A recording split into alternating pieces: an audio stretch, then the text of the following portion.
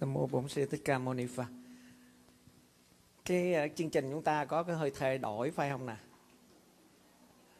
À, chư tăng Jenny có có có có nghe sáng nay chúng ta có hơi thay đổi. Đúng ra đó là chương, chương sáng hôm nay là chúng ta có cái bài kiểm tra nhưng mà thượng tọa chức sự mới vừa thông báo là chiều nay mới làm bài kiểm tra phải không? Vì chiều gì với chư tăng ni chúng ta muốn sáng hay chiều?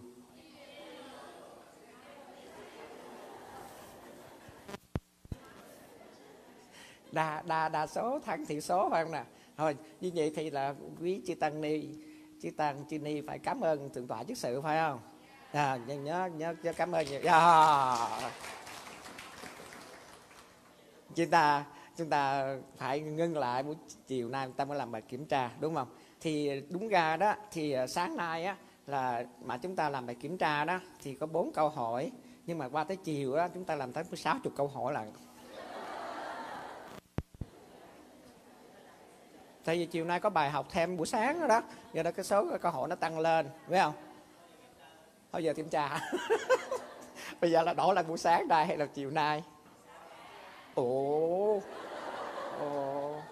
Vì chúng ta thấy được pháp không? Chúng ta thấy được pháp không? Thấy. Pháp gì? Vô thường. Trời ơi chúng ta thấy được pháp vô thường. Do đó đó tâm chúng ta sanh diệt như vậy đó. Chúng ta mau lẹ như vậy đó. Và thay đổi như vậy do đó chúng ta nhìn thấy được pháp như vậy đó là chúng ta nhìn được thực tướng pháp. Là chúng ta tiếp tục học ha. Nay quý chư tăng chư ni thấy cái lạ không nè? Bạn nó càng ngày nó càng bự ra nữa. Hôm qua đó thì ờ, trong khi mà sư ghi chép đó thì ờ, chư tăng chư ni với quý vị phật tử đó có một vài ý kiến với sư là không thấy rõ. Nha nhìn không thấy rõ như đó, đó giờ họ kêu là phải đổi thay cái cái bản nó bự hơn để viết cho nó rõ hơn. Nhưng mà thực ra đó bản nó không phải là bự ra để viết rõ hơn, nhưng mà bản bự ra để viết nhiều hơn. Chúng ta, chuyện này chúng ta đồng ý ha chúng ta còn phải nhiều cái ghi chép lắm. Chúng ta còn cần cái nhiều phải, yếu tố chúng ta cần phải nắm vững lắm. Chứ tôi không phải là chúng ta có bản nhiều thế này để chúng ta viết bự ra mà choáng hết cái chỗ mà chúng ta viết ít lại. Không phải ở trên ờ, Washington DC, Virginia và, và ở vùng Maryland một tuần sẽ có ba buổi giảng. Buổi giảng thứ tư á, là từ sáng tới chiều toàn Phật tử học không. Mà cái bộ đó là bộ pháp thú Mahabhatana là bộ thứ bảy của tạng Abhidhamma là bộ đó Đức Phật ngài phát được hào quang sáu màu. Mà ở trên thế giới trên thế giới ngày hôm nay á, người Việt Nam không có điều kiện để mà học cái điều đó tại vì không có người hướng dẫn cái bộ bộ, bộ Mahabhatana là bộ phát thú đó là bộ rất là đặc biệt. Và cái bộ đó là về nói về duyên sinh và duyên hệ. Là cái cửa ngõ đi vào trong Vipa Batista Samupada tức là cửa ngõ đi vào trong thập nhị nhân duyên hay ta gọi là liên quan tương sinh. Dung minh duyên hành hành duyên thức thức duyên danh sắc danh sắc liên lục nhập. Thì cứ mỗi lần mà vô minh mà duyên hành á có bao nhiêu duyên? Chúng ta phải nói rõ nó bao nhiêu duyên chúng ta không nói khơi khơi. À, vô minh làm chuyên cho hành? Vô minh có mấy, hành có mấy. Vô minh có 8 hành có 3 nhân ra hai nó thành là 6 và duyên nó gồm có hai duyên, thường cận với duyên và dị thường nghiệp duyên. Chúng ta phải biết gì đó. Thì cái bộ Mahapathana này là bộ phải giải thích được thập nhị nhân duyên 12 vành khoen đó. Khi ta biết được cái duyên làm để khởi hành ra được vô minh, rồi duyên khởi hành ra được hành á, ta bẻ gãy được cái duyên đó, hay ta bẻ gãy được mắt khuất xích khoen khoen khoen xích 12 dòng đó đó chúng ta giải thoát được. Do đó đó, một ngày ở thứ tư ở trên phật tử ở việt, phật tử ở trên vùng virginia và maryland đó, họ học suốt từ sáng tới chiều. Sư phải giảng suốt từ sáng tới chiều là nguyên một ngày đó phải viết chép dữ lắm. Nha thì ngày thứ tư, ngày thứ sáu đấy thì sư hướng dẫn cho cũng như là phật tử đó là cái trung bộ kinh. Hiện ngày nay họ đã đi qua tới bài thứ tư. Majjhima Nikaya qua cái bài kinh sa hải về thượng giáo pháp hơn là thượng tài và qua. Rồi cứ mỗi một lần như vậy đó là phải có Athakatha Basa Salini phải được chú giải vô để mà họ nắm biết được chứ không phải là chúng ta đọc rò rò rò trên trên trang tự của sách mà kinh điển nó có để sẵn. Do đó đó họ học dữ lắm. Từ 6 giờ rưỡi chiều cho tới 9 giờ khuya. Đó là cái trường hợp thứ hai. Và cái ngày chủ nhật á, thì phật tử họ trên đó họ học từ 2 giờ trưa cho tới 6 giờ chiều. Một bộ, bộ môn thứ ba là Apithamatha Sangaha tổng hợp nội dung vô tỳ pháp.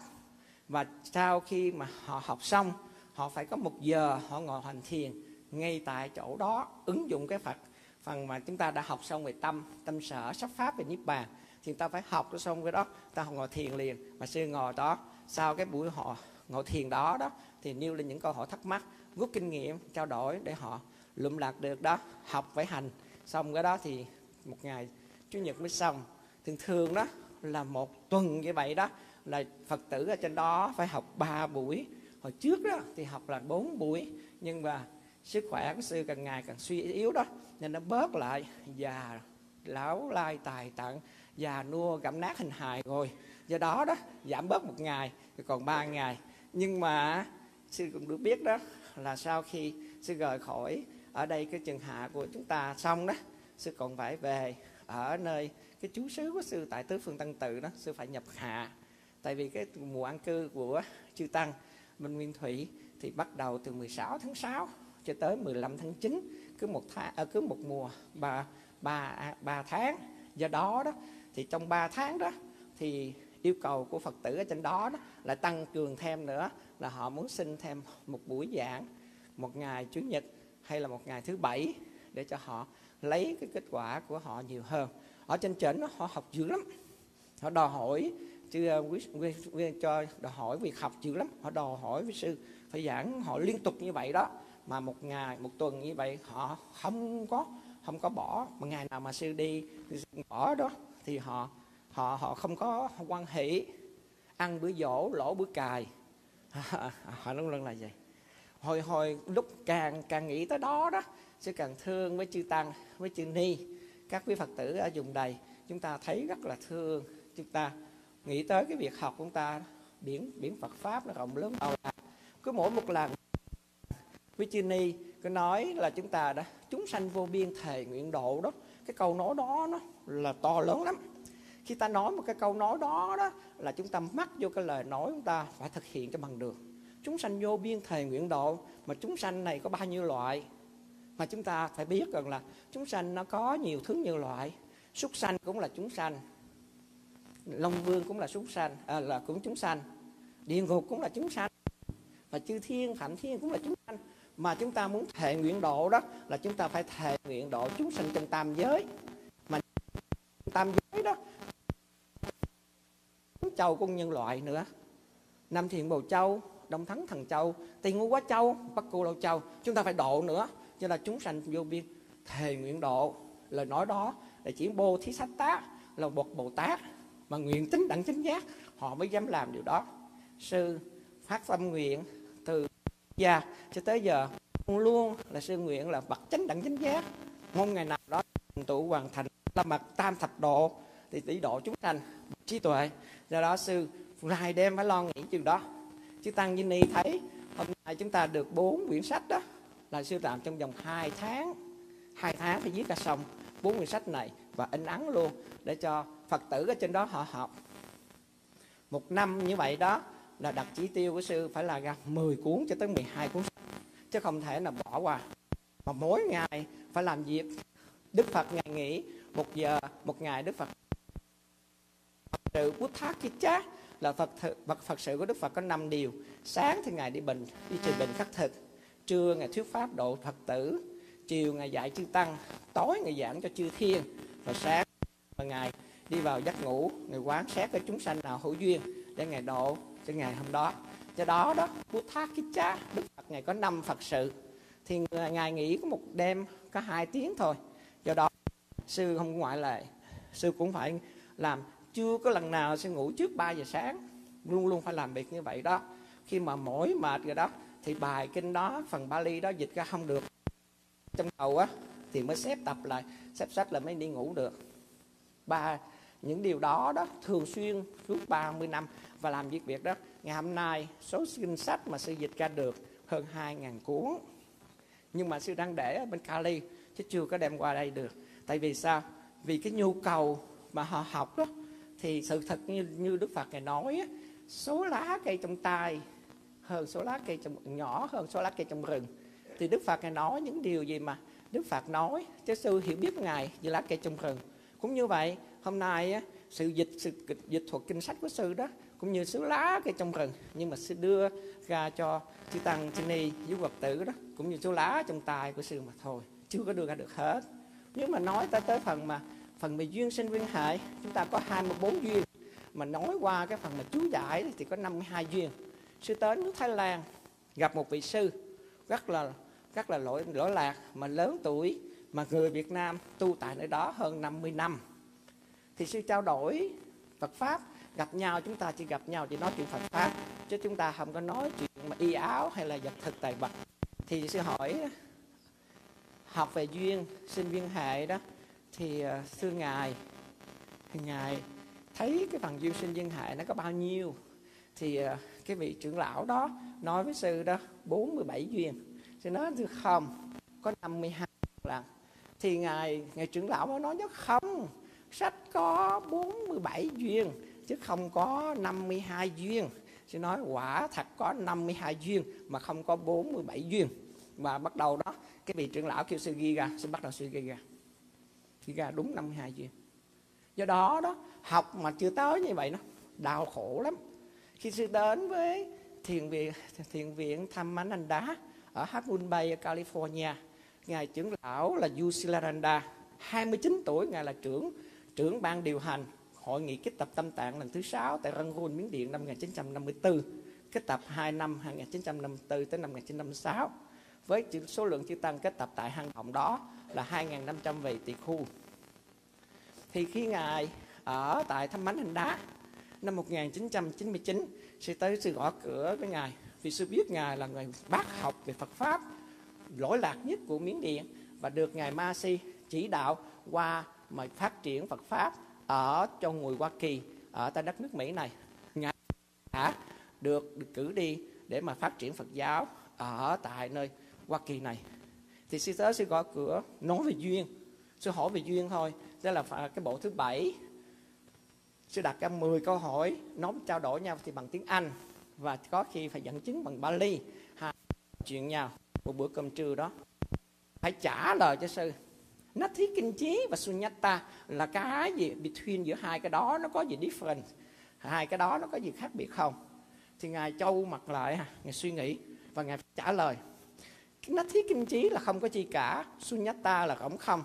Hai cái đó nó có điều giống nhau hay là không có giống nhau? Thì phải trả lời. Và duyên nào nói tới cái phần đó và giải thích cho đó bằng chi pháp nào? Thì ngài bắt đầu ngài, một câu, xin đưa ra có một câu thôi.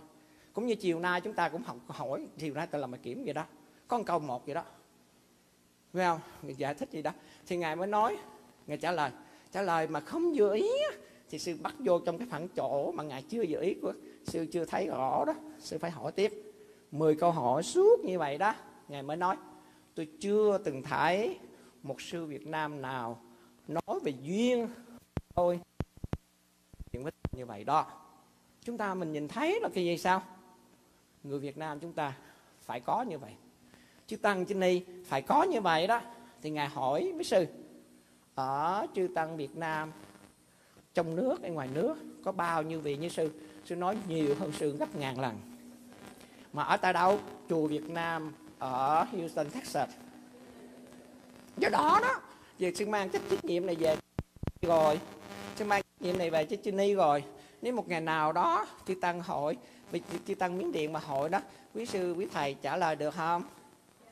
Đó cái đó được. Đó thế giờ bên này trả lời được hết trơn á.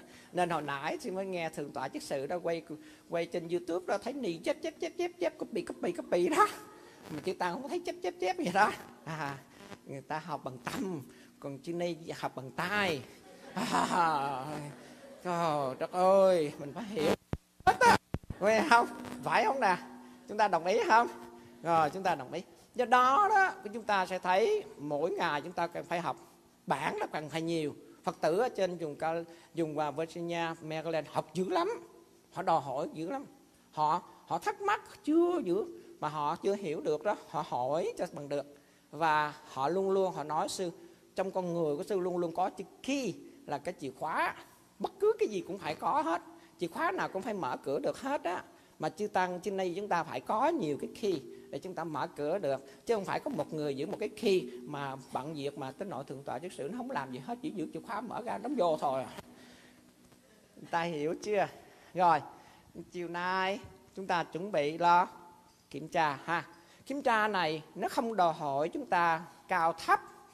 Kiểm tra này không có đòi hỏi số điểm nhiều ít.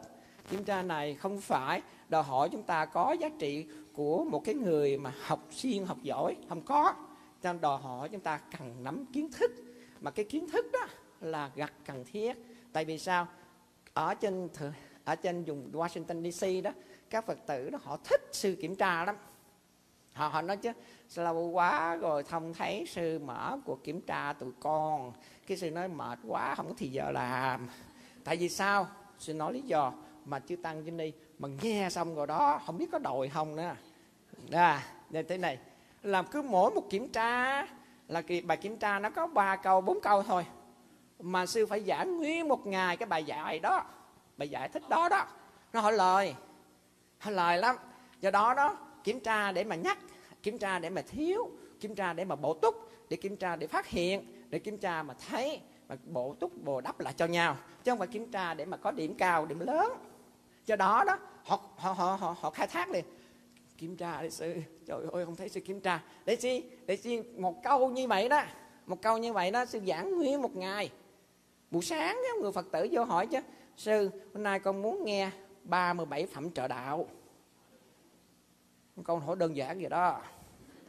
Sư giảng nguyên một ngày từ 8 giờ sáng tới 5 giờ chiều. Bản hết xóa đi tới xóa lại. Bản ở trên trển không phải bản như này.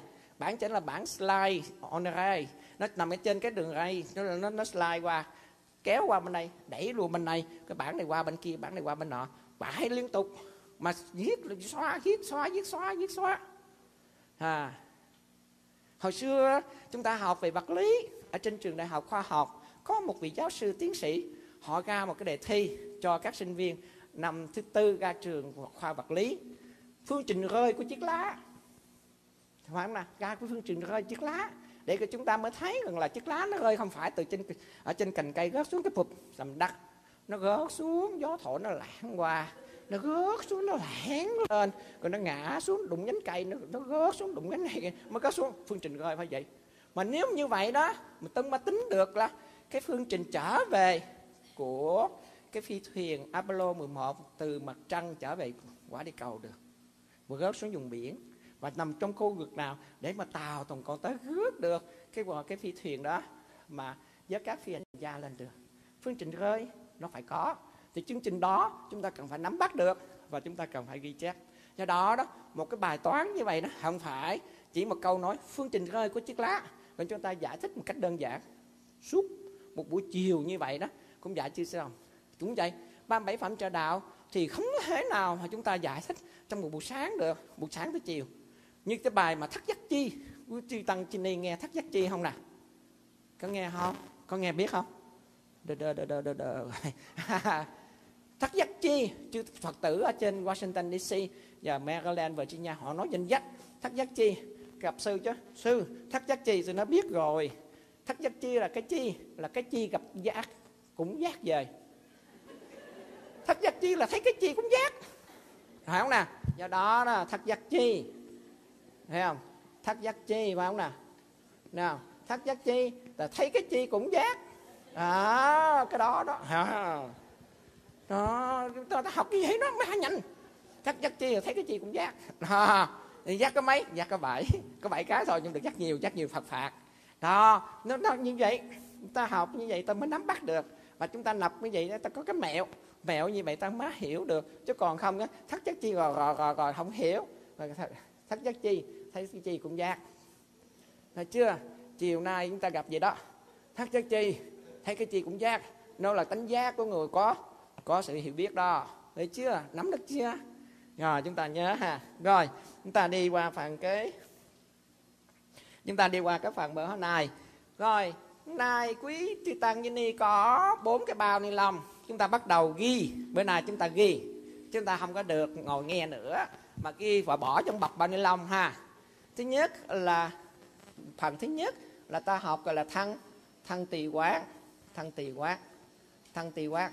Thì cái phần mà thân tỳ quán này á là tiếng Bali là Kayanupasana Kayanupasana mà mà mà đây quý chị tăng ni không cần ghi tiếng Bali không? Chúng ta không cần ghi tiếng Bali. Ghi cũng gì cũng thôi. Nếu chúng ta không có ly nào thì thôi không đừng có ly. Phải không? À, trong cái pháp mà gọi là ba la mật người ta gọi là ly dục ba la mật đó là quý chư tăng quý chư ni biết ly dục là gì không? Ly dục tức là dục cái ly. À, ly dục là, là dục cái ly. Chứ không ly, ly dục tức là vượt rồi khỏi mọi cái dục lạc phải không nè? Nhưng mà ở trên trên phật tử nói chứ ô ly dục ba la mật tức là dục cái ly ly dục là dục ly. Phải không nè? Chúng ta nhớ. Rồi dục tóc bắt đạt phải không? Dục tóc thì bắt đạt mình thuốc quá thì không có thành đâu. Dục tóc thì bóc bóc dục à, vậy đó. Bây giờ làm sao? Rồi cái khó thì nó cái khó thì nó.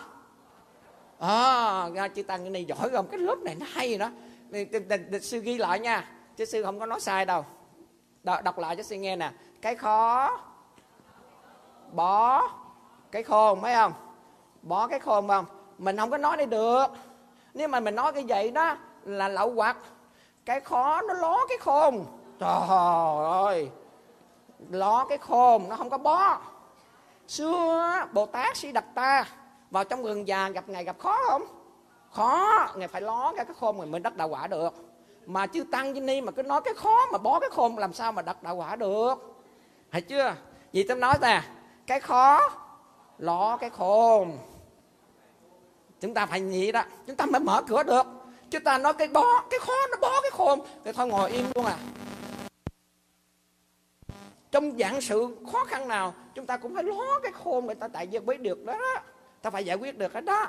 Cho nên người ta cứ đưa cái khó rồi bó cái khôn người ta ngồi ta chờ để người ta tới thì giải quyết cho mình đó. Cái đó là too late rồi. Nghe không? Chúng ta phải nhớ ta sửa ta sửa lại hết. Cái khó. Trời ơi cái lớp này hay nhất rồi. chúng ta nhất cái lớp ở đây đó không có lớp nào bằng lớp này rồi đó. Tại vì có lớp một à. Nghe nè à. rồi. Nghe chưa? Rồi bây giờ nay chúng ta học qua cái phần mà thăng tỳ quan chúng ta phải định nghĩa nó trước. Rồi sau đó chúng ta mới hiểu được nó cái gì. Thăng tỳ quán nếu mà ta nói thì tiếng Bali á, thì thấy rõ lắm. Nhưng mà tại vì chúng ta không có Bali nữa chúng ta nói tiếng Hán thôi. Thăng tỳ quán tức là quán sát nương vào lương nương vào. Sát thân này nè. Mà quán sát thấy được pháp. Và đó đó, dịch ngay cái gì đó. Thấy được pháp. Pháp chi? Pháp thực tính, mở ngoặt pháp thực tướng. Đó. chúng ta nương vào đó đó. Nương vào nương vào cái quán, nương nương vào quán cái sắc thân này nè. Mà quán sát thấy được pháp thực tướng, vô thường, khổ đau, vô ngã. Người chưa? Đó, bữa nay chứ bản người ta bự ra rồi đó. Quý chư tăng Vini gặp quý phật tử đằng sau có thấy không? Có thấy nó không? Không nữa rồi. Giờ làm sao? Giờ làm sao giờ? Nghe thôi ha. Nghe như nghe cũng được rồi. Rồi chưa? Nương vào sự quán sát cái sắc thân này nè. Nương vào cái sự quán sát cái sắc thân này mà quán sát thấy được pháp thực tướng. Vô thường, khổ đau, vô ngã. Vậy thì ta mượn ta mượn cái thân, ta mượn cái xác thân này để mà ta theo dõi, ta quan sát, ta chăm chú, ta để ý một cách đặc biệt thì chúng ta mới thấy được pháp thực tướng đó hiện bài. Rồi chúng ta nắm bắt nó chứ không phải ta nắm bắt cái thân này. Cái thân này chúng ta không cần phải nắm bắt. Người ta hiểu nó rồi. Nhưng mà đó nay nó gạt ta nhiều quá.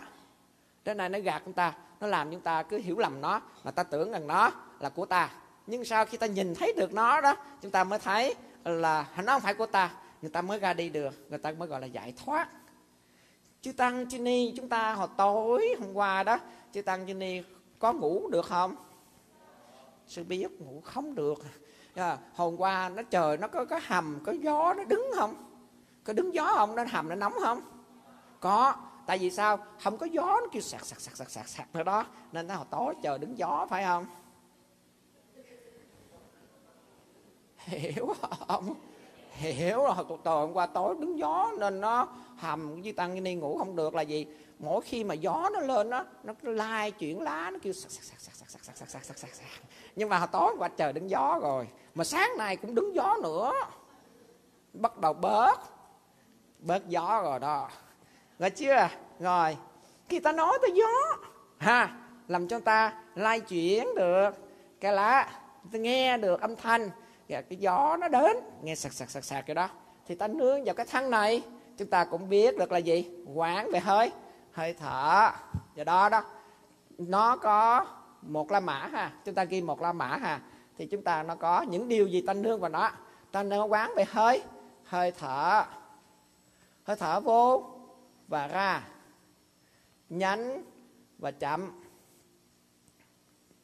Nặng và nhẹ hết nè? Hơi thở nó luôn luôn nó có hiện tượng đó. Thì cứ mỗi một lần chúng ta theo dõi được hơi thở của ta, tại vì ta không có để ý tới nó. Bên này chúng ta bắt đầu có thì giờ ta ngồi để ý nó. Thì ta thấy nó vô và ra. Nhanh và chậm, nặng và nhẹ, dài và ngắn. Phải không nè? Đó, bắt đầu chúng ta theo dõi theo dõi cách đặc biệt. Chú tâm theo dõi nha. Nhưng mà cái hơi thở này chúng ta phải để nó theo của nó, tự nhiên chúng ta không có gò, không có ép, không có không có nén, không có thúc nó. Mà chúng ta để nó giống như ta đà nãy giờ ta đang ngồi ghi chép đây mà, chúng ta không có ép nó đâu, cho để tự nhiên như vậy đó. Rồi cũng như vậy, khi ta ngồi thiền cũng vậy, để nó tự nhiên như vậy đó. Nó vô như thế nào, nó ra như thế nào. Rồi chúng ta nhìn nó thôi, như một người nhìn, giám sát, chứ không có làm gì khác hơn.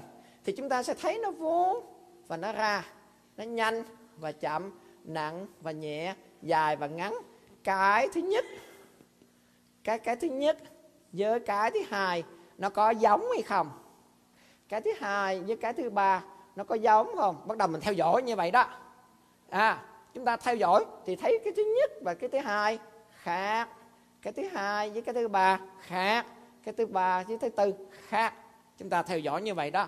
Cứ mỗi lần như vậy đó là vô thường. Ô, này cũng thật sự nó không phải như ta nghĩ đó là vô ngã. Một lần chúng ta điểm danh nó. Kịp chưa? Chúng ta cứ theo dõi như vậy. Ta không cần làm nhiều cho ta không cần làm nhanh. Chúng ta không làm số lượng, mà chúng ta làm chất lượng. Chúng ta cứ ngồi. Mà cái quý phật tử. Chứ tăng chứ đi quy ước nhau nữa là chúng ta không được đếm số. Không được đếm số. Một, hai, ba, bốn, năm, sáu. Mà chúng ta có không có dùng sâu chuỗi để chúng ta làm chúng ta ngồi yên thụ động vậy đó, yên lặng vậy đó.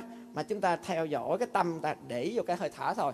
Chúng ta để hai cái tay cũng được, chúng ta để hai tay xuống như cũng được. Nhưng chúng ta cứ thản nhiên ta nhìn cái tâm, ta nhìn thấy hơi thở nó vô như vậy đó. Vô cái trước. Và cái vô cái trước cái cái trước đó. Và cái vô cái sau, cái thứ hai đó. Hai cái nó như thế nào? Có khi nó vô tới này thì nó ra lại. Có khi nó vô tới đây, nó ra lại. Có khi nó vừa cho tới đây, nó ra lại.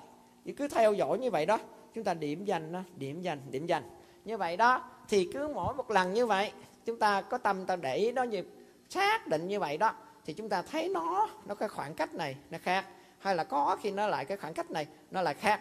Chúng ta nhìn thấy nó, cứ nhìn lần như thấy nó, cứ nhìn thấy nó. Và ấy cái bài học ngày hôm qua, chúng ta nói về kinh niệm. Niệm là chi? Trạng thái của niệm ra sao? Thường luôn kháng khích với cảnh không dễ vui phận sự của niệm là sao? Là luôn luôn là gì? Là không có được thất niệm. Không được thất niệm. Và cái phận sự của không khắc niệm đó thì làm sao cái sự niệm nó trở nên thành tựu là gì? Là duy trì được cảnh, giữ gìn được cảnh và trong nôm được cảnh. Cái đó là sự thành tựu. Và nhân cần thiết của nó là gì? Phải chính xác. Phải theo dõi chính xác như vậy đó. Chú niệm chính xác như vậy mới thành tựu cái niệm. Chứ tăng như ni còn nhớ cái bài học đó không? Rồi, lắc đầu rồi. Ở trên ở trên, phật tử ở trên Virginia, Maryland đó, họ có một câu nói, ai cấm mình quên? Thấy không? Họ nói câu đó đó, ai cấm mình quên? Thấy không? Ai cấm mình nhớ? Họ nói luôn. Cho đó đó, họ cứ để cho cho sư nhắc không à. Hỏi tới đâu cái đó sư nói đi. Cái sư nói, ủa chép nhiều lắm mà. Chép nhiều nhưng mà để học tủ rồi, đâu có đem ra theo đâu. Đó, nên bây giờ cái bổn phận nó cứ nói hoài, cứ nói hoài, nói viết nghe quen, nói viết nghe quen. Nhớ đó, thì khi chúng ta theo dõi hơi thở nha, chúng ta nhớ nha, chúng ta theo dõi nó vô và ra.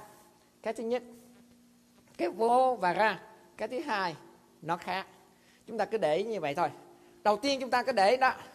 Cái sau đó chúng ta khoen cái niệm vào đó trên mạnh cái niệm vào đó. Chúng ta để coi nó vô như thế nào? Cái trạng thái nó vô sao? Có khi nó vô nhanh khi nó vô chậm. Cái ta đẩy cái thứ nhất. Cái thứ hai nữa cái nó vô nhanh cái vô chậm. Cái ta đẩy cái thứ hai. Cái thấy hai cái này chúng ta thấy nó giống nhau không? Thấy khác. Bắt đầu người ta qua nhìn cái đó. Còn bắt đầu người ta coi nó vô nhẹ hay là vô nặng? Nó vô nhẹ nó len lén lén lén được vô. Nó lén lén lén nó đi ra. Nó gọi là vô nhẹ. Và ra nhẹ. Nó vô ù ù ù ù ù, ù vô. Rồi nó ra ù ù ù ra nó là nó vô nặng và nó ra nặng. Chúng ta để một, hai. Và khi nó vô dài ta biết dài. Khi nó vô ngắn ta biết ngắn. Người ta để cái nhất nó vô dài. Cái thứ hai, nó vô dài, giống nhau không? Cái ga ga ngắn vừa ngắn. Nhưng mà chúng ta bắt đầu thay để. Chúng ta đi từng mỗi một cái như vậy nè. Cái tâm ta cứ kháng khích vô vậy đó. Kháng khích vậy đó. Còn ta ta trở lại kháng khích vô vậy cái gì đó. Chúng ta cứ đi tới đi tới đi tới tới lại. Còn ta ta trở lại tập trung tập trung tập trung. Ghi nhớ ghi nhớ ghi nhớ. Để ý để ý để ý. Vậy thôi. Chúng ta tìm ra được thực tướng của nó. Nghe chưa? Của nó chứ không phải của mình. Đó là cái phương pháp thứ nhất. Thăng tùy quán. Chị tăng như đi nắm được à ha? Rồi, cái thứ hai là chúng ta bắt đầu để ý tới.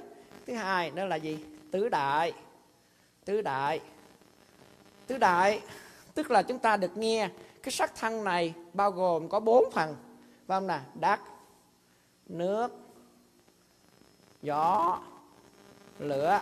Nó có gồm có bốn thành phần. Mà chúng ta còn biết nữa, trong cái chất đất này, trong cái chất đất này nó có hai. Cứng và mềm. Cứng và mềm. Đó là trong chất đất. Nước thì nó có trạng thái quấn tụ lại và loan ra cái nước nó có trạng thái tu, quấn tụ lại mà loan ra. Và gió nó có trạng thái căng phòng căng phòng lại và lay động. Hai cái chức năng của nó. Căng phòng và lay động là chức năng của gió. Và lửa nó có tính chất là gì? Nóng và lạnh. Do đó, chúng ta để ý cái tứ đại của trong con người chúng ta, nó có bốn cái thành phần đó. Thì khi chúng ta ngồi, khi ta ngồi thiền, hay cho ta đi ta đi đi một hồi, chúng ta có một số người ta ngồi thiền một hồi, cái người đó nó nóng lên. Cái người của họ nóng lên, thì cái đó là chắc lửa nó lên. Chắc lửa nó lên. Tại sao nó lửa nó lên? Tại vì khi ta đi khi ta sinh hoạt hàng ngày á, thì cái gió nó luân chuyển. Như chúng ta biết cái gió nó có mấy loại gió. Chúng ta có biết trong người chúng ta có mấy loại gió không? Có mấy loại gió? Gió gió mà cạo gió ra, gọi là gió bệnh phải không? Gọi là gió bệnh. Đúng không? Ờ, không, không phải không phải vậy đâu không phải. À chúng ta có sáu loại gió trong con người của ta. Trong cái quyển ngài Chatila chư tăng chư ni sẽ đọc lại cái phần mà tứ đại. Ở trong cái phần mà của ngài Chatila có nói có phần của tứ đại thì chư tăng ni phải coi cái phần đó là gió. Gió nó có sáu loại trong người chúng ta có sáu loại. Nên thứ nhất đó gió nó có sáu loại ha. Gió vô và ra phải không nè gió, gió vô và ra. Gió nó chạy ở trong bao tử của ta. Gió chạy trong bao tử của ta. À, nó luân chuyển trong bao tử của ta. Do đó chúng ta nghe nó rột rột rột đó. Chứ tăng đi nghe nó gió nó thổi là rột rột rột trong người đó. Nghe nè rồi gió nó chạy khắp trong người của ta. Gió chạy trong người khắp khắp người của ta.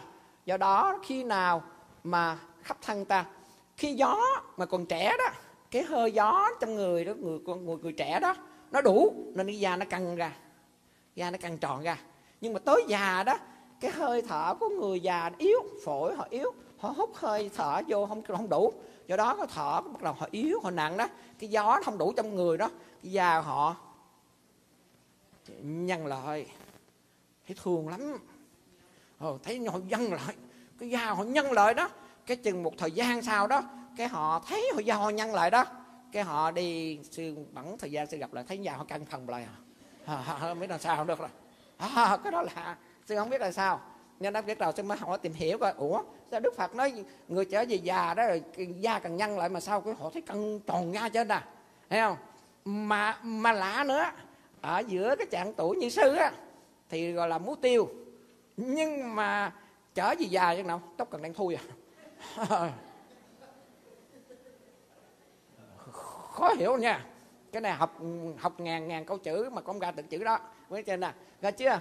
Vô gió vô gió ra gió đi trong bao tử gió chạy khắp châu thăng thôi nè gió lên gió lên và gió xuống.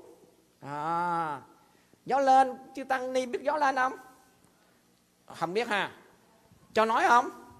Gió lên là ở đó ở hơi đó. À, ăn mà không tiêu nó ờ, ờ, ờ. ở ớ kỳ quá. Ừ.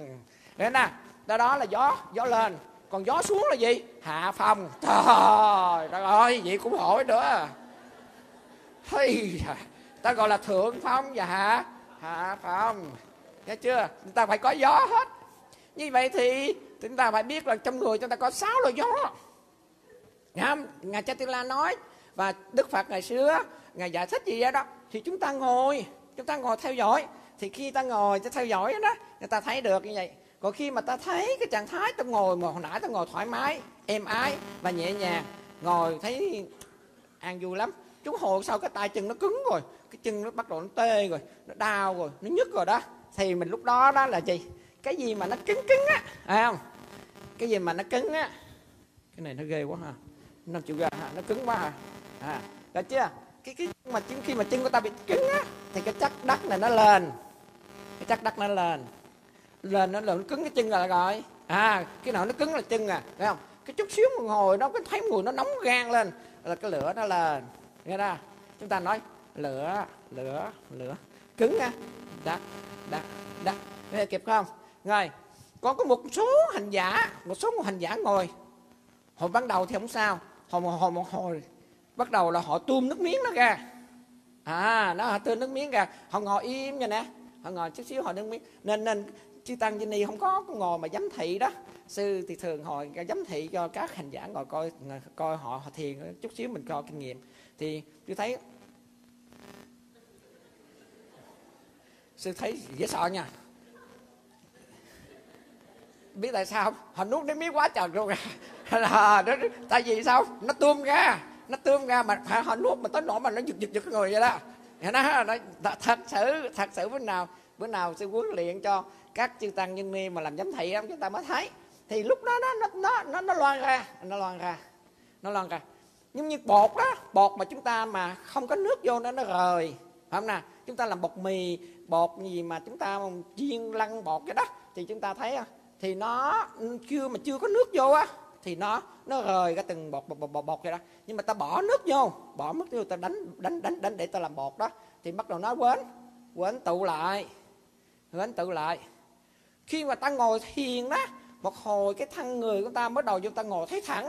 Nhưng mà một hồi cái sau cái thân người cho ta không còn thẳng nữa. Có một số ta ngồi nghiêng bên. Có người ngồi ngoan bên. Ha, có một người số một người người ta ngồi gù xuống. Cái đó quán tụ lại đó. Ha đó quán tụ lại đó quán tụ lại. Là vì sao? Chắc chắn đang bị đang bị thiếu nước tại vì khi mà họ họ đối diện với cái cơn đau của nó, họ thoát mồ hôi ra đó tới cái người họ bắt đầu quên, cò gúm lại, cò gúm lại, nhìn thấy cái cái thân xác của họ cò lại cái đó. Thì một thời gian không lâu, chừng khoảng năm 10 10 phút rồi đó, thì bắt đầu họ bị sặc, họ bị ho. Thì thì cái người giám thị phải biết liền, phải có mấy cái bình nước. Mấy bình nước chiều nay, sư cần các quý chư tăng ni phải có với mình nữa. Vào ừ, để cái bên này nè. Mở ra uống kịp chưa? Nếu như chúng ta ăn, nếu như chúng ta ăn mà ta bị sặc, bị ho, vì có khi ăn nhanh quá, hay ta suy nghĩ gì đó mà chúng ta không nhai kỹ, khi mà bị sặc, bị ho, mà chư tăng như ni không có ly nước ở trên bàn để mà uống liền, thì sau này chúng ta bị chết vì các cái chứng bệnh là nứt cục và ảnh hưởng gắn và có một vị sư ở Việt Nam đã bị báo động như vậy đó. Do đó đó, chúng nào chúng ta cũng phải biết rằng là cái thân ta nó bất trị và nó bất thường và nó không có bao giờ theo ý ta nghĩ mà ta biết được đâu. Chúng ta phải chuẩn bị trước để chúng ta nhìn thấy nó, chứ không phải là lo lắng cho nó mà săn sóc cho nó và bảo vệ cho nó. Nhưng mà chúng ta muốn đó, qua sông phải nương thuyền, phải có thuyền mới đến bờ giác ngộ được. Thắt sát thân ta là chúng ta phải nương vào đó chúng ta mới nương qua con đường tu tập mới được. Do đó đó khi tăng khí một cái trạng thái mà tôi ngồi bị sặc bị ho là cái vị thiền sư đó hay vị giám thị đó thường hay bổ túc cho cái vị đó một ly nước ly nước chút chút thôi chứ không phải cho nước nhiều. Mà chút xíu họ mượn có họ đi tiểu. À, không hề không họ thiền. Nói tại sư cho uống nước làm được tiểu? À, nó đủ lý do hết trơn à. Thấy không? Cho, cho chút chút thôi cho thăm vọng thôi không cho nhiều do đó nó nó không có bị quấn tụ lại. Nó không có quấn tụ lại cho họ loan ra. Họ cho nó loan ra họ tươi mát lại họ mới ngồi được.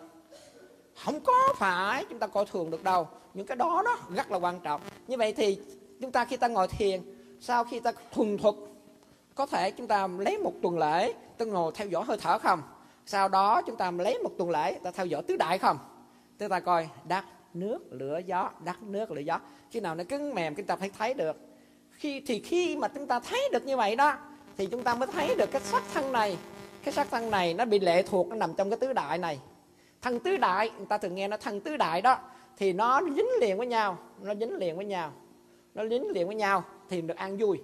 Nhưng mà khi mà nó rã ra nó rã ra nó không có dính liền nhau đó thì coi như là thất sắc, thất sắc thân này chúng ta là hoại diệt liền.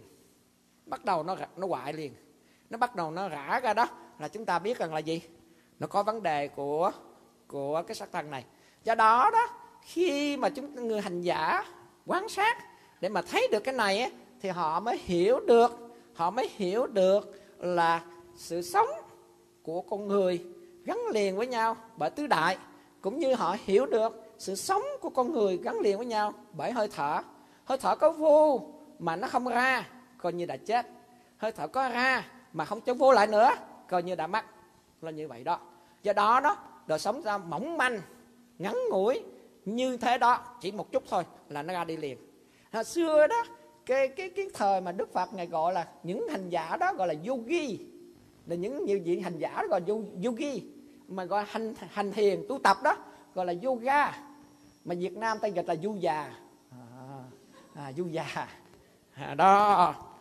Nên nên ngày hôm nay có một số người mỹ hay là những người âu châu họ cứ dùng danh từ yoga, luyện yoga là họ luyện theo kiểu dưỡng sinh, chứ thực ra không phải. Tiếng yogi là hành giả, là con người. Yoga là phương pháp hay là pháp môn để mà hành thiền, chứ không phải là dưỡng sinh. Mà số ngày hôm nay, có nhiều số những người mỹ đến gõ cửa với sư, nói chứ, ở nơi đây có luyện yoga không? Thì nó có. Họ nói, luyện yoga thiệt không? Thiệt. Chừng nào làm? Lúc nào cũng làm. Anytime. Họ vô, cái bắt đầu vô vipassana liền trời ơi đâu có dưỡng sinh chi. Họ mới thấy là xa khỏi trần thế liền. Vô quý Vipassana thì họ thấy xa khỏi trần thế liền. Do đó đó họ họ tưởng là chúng ta dưỡng, dưỡng yoga là dưỡng sinh tập chân tay chân khỏe mạnh. Không có. Họ sẽ trở thành là ngọn gió là lai ngọn lá mà thôi. Không có lợi ích gì cả ha chư tăng đi nghe kèm ha. Do đó chúng ta phải theo theo dõi cái này. Như vậy thì khi mà có người chúng ta có lay động không? Có.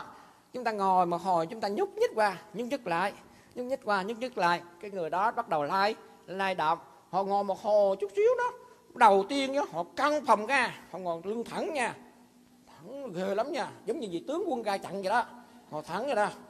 Chừng năm sau thấy họ thù lại thành như một lính vậy đó. À, nó quên tụ lại. Nó quên tụ lại. Hồi nãy thành tướng năm phút sau thành lính.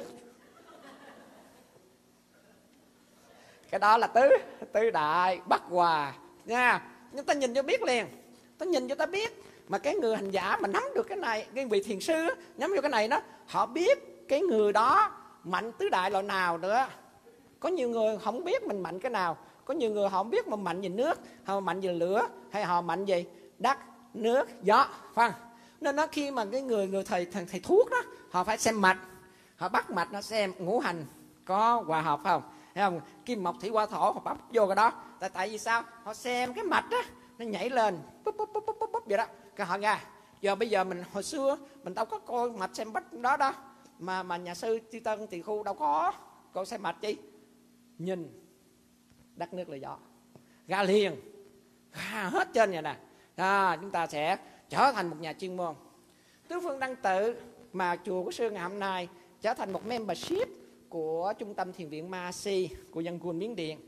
Trung tâm thiền viện Masi có 510 cái chi nhánh trên toàn thế giới, worldwide, tới tất cả thế giới đều có có những trung tâm Masi.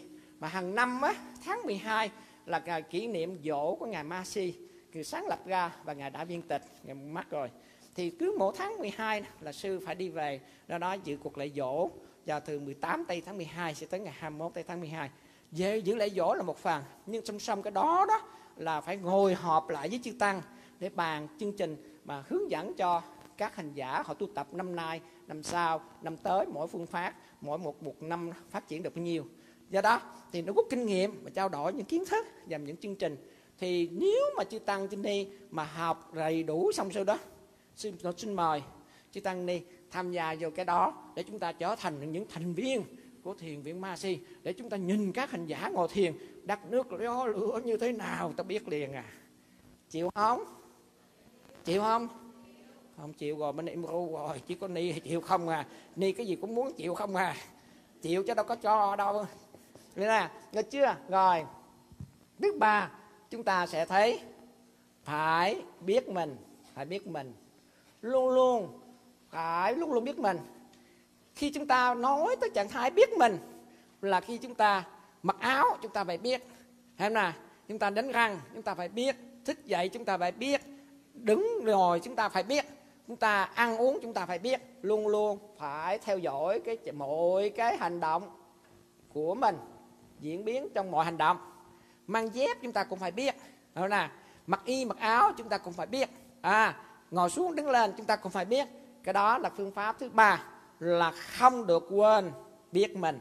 Lúc nào cũng vậy cái chưa? Cái đó đó là đó là những cái chi tiết mà nhỏ nhỏ nhỏ chúng ta cũng phải biết. Thí dụ như là sư đi tới để mà lấy cái bình nước, là sư phải biết biết mình.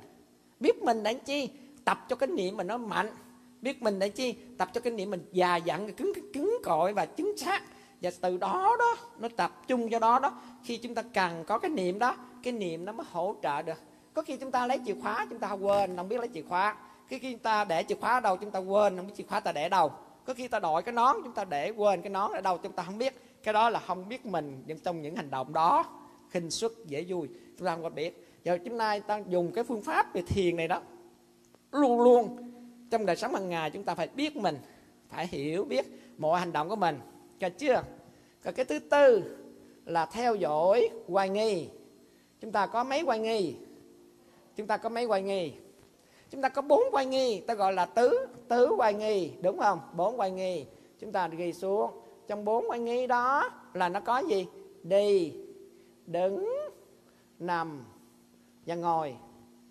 Thế nào đi chúng ta gọi là gì? Thiền hành, đúng không? Đi ta gọi là thiền hành.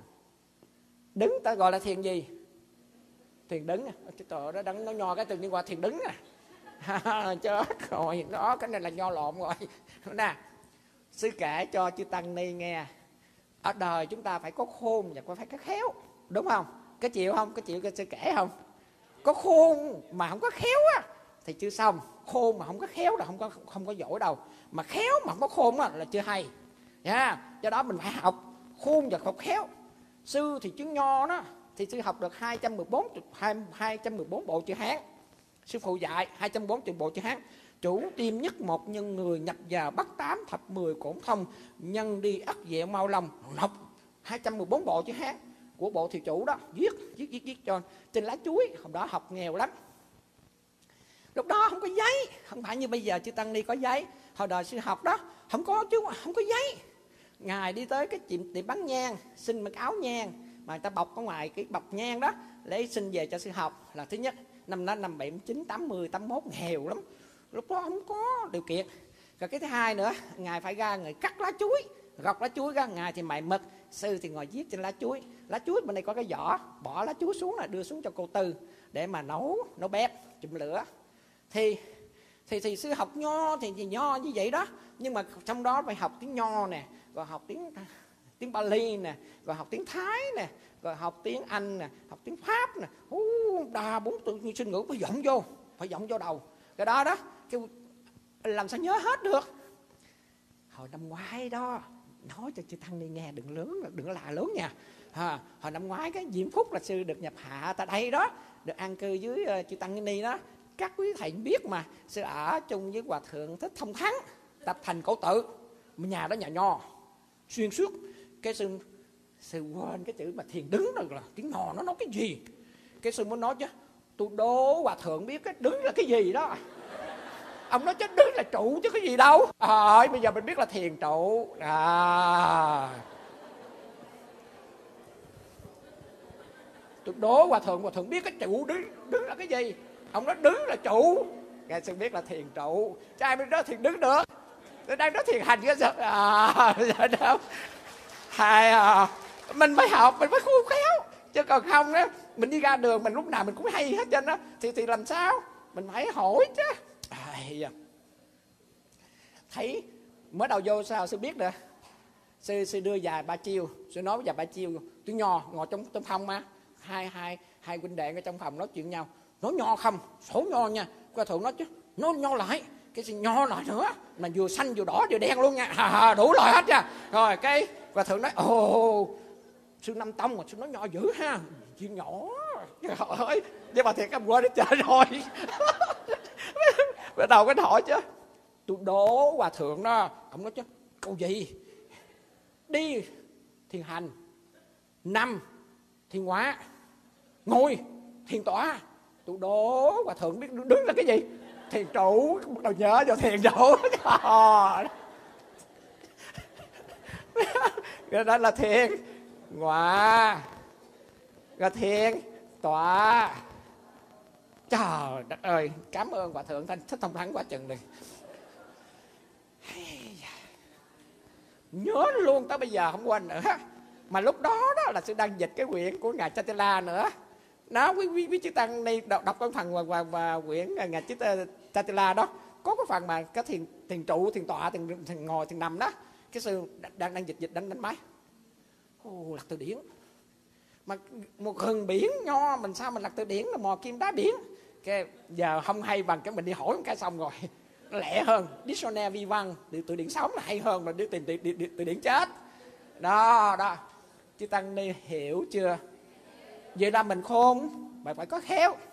Thì sau đó mình muốn hỏi người ta mình đố người ta. Trời ơi.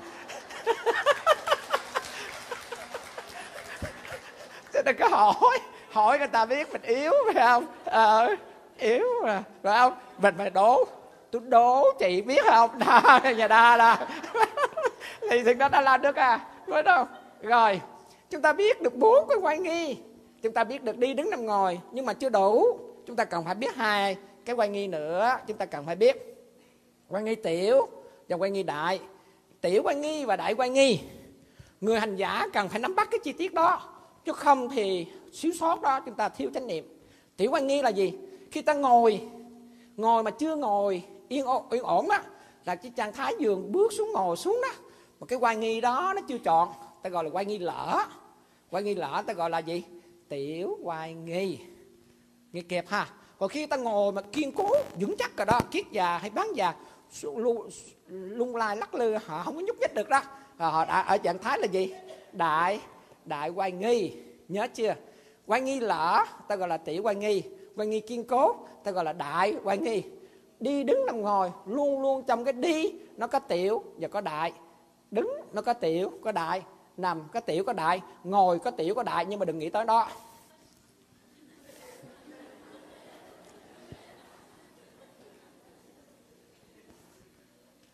Kịp không? À, đi qua chứng vấn đề khác đi.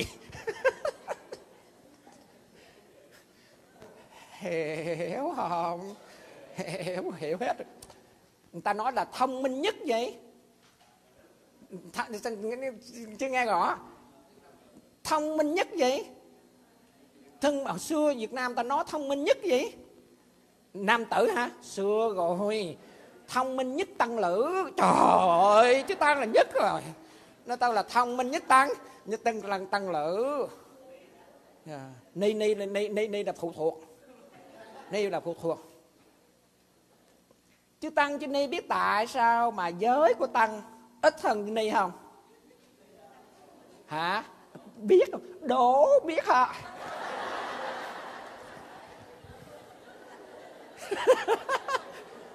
Đổ biết hả? Không biết được. Vì ni phạm giới nhiều, phạm tội nhiều mới ra giới được nhiều. Banh nhách tí là chế định người nào phạm rồi bắt đầu ra luật. Người phạm ra luật, hồi xưa đức phật đâu có đặt luật. Đại đức xá lợi phát mới hỏi, bạch đức thế tôn, phật quá khứ, phật vị lai và phật hiện tại, phật nào được tuổi thọ lâu dài, giáo pháp được lâu dài? Thì đức phật thích ca ngài nói chứ, giáo pháp của phật quá khứ, lâu dài hơn như lai. Giáo pháp của phật như lai, lâu dài hơn như lai. Cái ngài ngồi im. Để đức xá lợi phát ngồi nói, ồ, như vậy thì quá khứ dài vị lai dài mà tại sao cái thời của chúng con là quá thứ mà mà cái cái giáo pháp nó ngắn? Đức phật nói vì quá khứ chư tăng được đức phật cấm chế điều luật do đó giáo pháp được tồn tại lâu dài. Hoặc phật vị, vị lai đức phật ngài cũng cấm chế điều luật do đó giáo pháp được tồn tại lâu dài. Cái ngài im nữa. Cái đại đức sa phát trí tuệ mà bạch đức thế tôn xin thỉnh ngài từ đây cấm chế điều luật cho chúng con y giáo phụng hành để mà tồn tại được giáo pháp được lâu dài. Bắt đầu đó, ngài nhận lời. Ngài nhận lời trong cái ngày đó, ngày ngày trăng tròn. Ngày trăng tròn ngày bắt bắt đầu ngày ra bà thì một khá ô đa, tức là giáo giới biệt biệt và thoát giới. Bắt đầu mình mới nói là bà thì một khá ô đa là giáo giới. Bắt đầu ngày bắt đầu ngày ra giới luật 227 giới đó. Rồi ní sinh sao đẻ muộn do cái công lao của bà dì mẫu của Gotami đến xin thỉnh đại đức Ananda cầu cho Đức Phật cho xuất gia nhưng mà có người ni vô nó.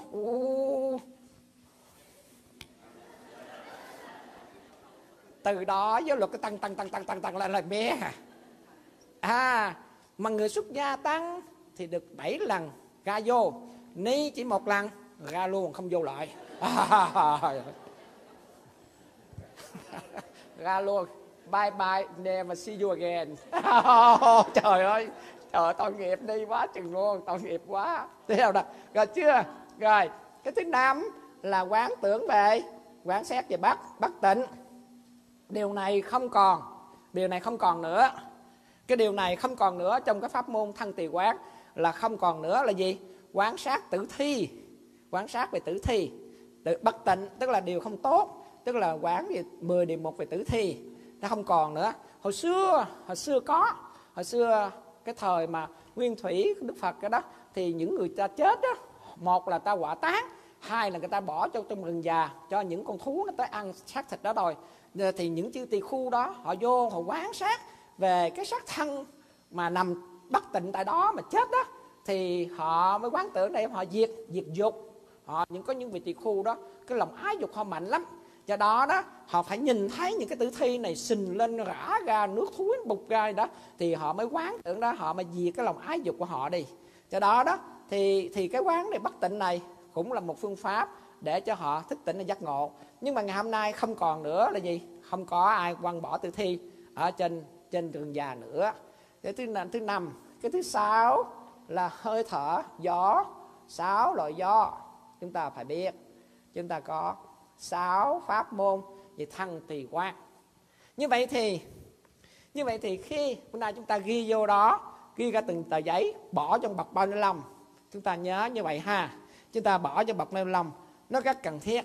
Quý vị, quý chư tăng, chư ni bỏ vô sáu cái pháp môn mà quán thân này sẽ bỏ vô đây. Rồi chúng ta phải nắm bắt. Như vậy thì, khi chúng ta ngồi thiền về thân quan sát về thân tại vì hôm nay ở trên thế giới nó có những trung tâm về thiền của quốc tế. Chẳng hạn như trên Massachusetts thì họ có một cái trung tâm gọi là IMS hiện tại nơi đó nó dành người Mỹ không? Mà nơi đó đó, họ dạy quá thiền về vipassana rất là chặt chẽ và ở đó nó rất là nghiêm mật và phải tuân thủ cho họ. Vào nơi đó, dù là xuất gia hay là người tại gia, phải thuần túy về vấn đề bắt quan trai. Đó rất là cần thiết cho người tại gia. Còn người người người người người xuất gia thì phải trong sạch về giới mỗi một ngày phải sám hối một lần hay hai lần sáng tối, hai lần. Còn người phật tử tại gia thì chúng ta phải biết, nếu như ta không có điều kiện đến chùa thì mỗi buổi sáng cũng như buổi buổi tối, trước tới bàn thờ người nào có thì chúng ta có, còn không ở nơi tâm linh của ta có. Ta phải quy phật, quy pháp, quy tăng, nguyện tránh sát sanh, trộm cắp tài dâm, nói dối âm tụ thường xuyên. Lúc nào chúng ta chỉ mỗi ngày, chúng ta không phải đợi tới ngày trai giới, tới chùa chúng ta mới sinh. Mỗi ngày sáng ở trước bàn thờ Phật hay là tối trước khi ngủ trước bàn thờ Phật, chúng ta nguyện quy phật, quy pháp, quy tăng, quy phật, quy pháp, quy tăng, quy phật, quy pháp, quy tăng, ba lần. Nguyện tránh sát sanh trộm cắp tà dâm nói dối ẩm tủ nguyện tránh sát sanh trộm cắp tà dâm nói dối ẩm tủ chúng ta có lên trên giường mà ta ngủ mà ta có ra đi á, ta có tam bảo tới, có nhà ta tới. Đó đâu là tư lương phút giây cuối cùng. Một ngày mà chúng ta sẵn sàng sẽ ra đi, chúng ta phải có tam quy và ngũ giới chúng ta phải nắm bắt được đó. Là người cư sĩ ở trên Virginia Maryland người Phật tử nào cũng thuần thành. Họ cũng vẫn biết cái kỹ thuật thủ thuật đó để mà họ làm cái vốn tư lương. Chứ không phải chúng ta đi bằng tay trắng. Chúng ta không có nhớ cái gì cả. Chúng ta không mang theo được cái gì cả. Nên là ngũ giới bất trì triệt lộ nhân thiền, ngũ giới chúng ta không gìn giữ. Mắt con đường trở lại người và trời. Như vậy thì ngay khi ta trước khi ta đi ngủ ai ai nói chúng ta là sẽ ra đi không? Không ai biết được. Ta phải bỏ vốn liền nguyện tránh sát sanh trộm cắp tài dâm nói gió âm tụ Whoop. nó đi về tam bảo. Phật tử phải biết, còn với tăng trên ni, chúng ta ngồi ở tại nơi phòng, chúng ta sám hối với nhau. Sắp sắp badukha sắp chúng ta sám hối nhau. Sapata Patiyo Rachumini chúng ta phải đọc sám hối nhau. Còn không á, chúng ta phải đọc với bộ ở nơi phòng của mình. Trước khi mình đi ngủ, thì để chi? Phải chuẩn bị cái tư lương như vậy thì khi ta ta nói trở lại thân tỳ quán này, chúng ta nói về thân tỳ quán này là chúng ta nương vào cái thân này mà chúng ta quán sát thấy được cái pháp thực tướng của nó. Vậy thì khi chúng ta nói nó dài và ngắn là chúng ta không có bỏ nó vô. Chúng ta không ép, không thúc, không đẩy để chúng ta thấy thực tướng của nó. Nó như vậy là như vậy để cho chúng ta thấy nó luôn luôn thay đổi là vô thường. Phải không nè rồi khi mà chúng ta ngồi mà thấy tứ đại này nó hoại diệt thì chúng ta thấy nó bắt đầu nó rã nó đau, nó nhức, nó đau. Thì chúng ta mới thấy được là gì? Vô ngã hay là vô thường hay là khổ đau? Chúng ta phải nhìn thấy. Nhìn thấy nó, nhìn thấy đó. Tâm chú đó, mình theo dõi nó. Rồi chúng ta không có lo sợ nó. Chúng ta nhìn thấy đó, chúng ta mới cảm ơn nó. Nó cho chúng ta một bài học thức tỉnh. Bài học đó để chúng ta không còn bị nó gạt nữa. Tại vì sao? Ta nuôi nó, ta dỗ dỗ về nó, ta săn sóc nó, ta lo lắng cho nó, giấc ngủ, muốn ăn đồ uống, vật thực và quần áo. Săn sóc lo cho nó đủ hết, nhưng nó là người phủ bộ, phản bội ta nhất và nó là người phủ phàng ta nhất. Và người người đó, nó sẵn sàng nó bỏ ta cách dễ dàng nhất. Chúng ta nhìn thấy đó đó, chúng ta mới ra, chúng ta mới ra được. Còn nếu như mà chúng ta không có mà nhìn thấy được nó, chúng ta ra đi không được. Người mẹ với người con không có thể rời xa nhau vì sao? Thương dính thương dính cột lại. Đó cũng là không ra đi được. Người mẹ người con không ra đi được, tại sao? Dẫn hờn quan trái, quán thù kết chặt lại, giữ con lại, cũng là không ra đi được. Vô quan trái bắt thành phu phụ, vô quan nghiệp bắt thành phu tử. Do đó đó, chúng ta sẽ thấy sự ra đi là khi chúng ta thấy rõ được bản chất này, chúng ta mới ra đi được. Chứ còn không tách eo, nếu giữ giữ giữ, dính dính dính, giữa tham cũng có, sân cũng có, si cũng có, mà cột trói cho ta gì? Ta ra đi không được. Cho đó là cái điều thật. Cho đó mới là thức tỉnh. Người ta gọi là gì? Giác ngộ. Thầy thấy cái chi con ngộ thì giác về.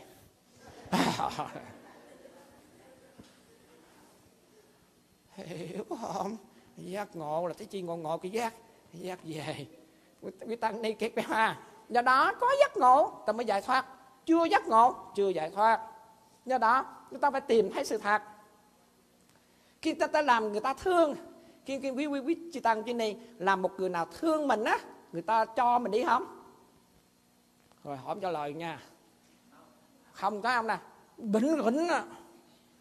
Đi là bệnh rỉnh á. Thế nè.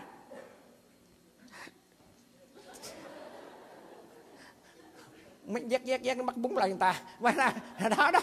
Chị tăng đi khó lắm. À do đó nó mình mới thấy là gì? Chúng sanh ở trong ba góc độ mà không có ra được là gì? Dính mắt quan trái và si mê. Nó cột chói chúng ta lại. Và khi người ta nhìn cái thân này cũng vậy, ta cũng dính mắt nó. Nó là một chuỗi dài quan trái với ta. Và trạng thái không hiểu biết ta với nó một cách rõ ràng người ta dính vô cái thân này không bao giờ ra. Đó. Nhưng bây giờ sư xin trình bày chi tăng ni nè. Khi ta ngồi thiền người ta xả thiền ra, ta sợ máu huyết không lưu thông đứng lên sẽ té.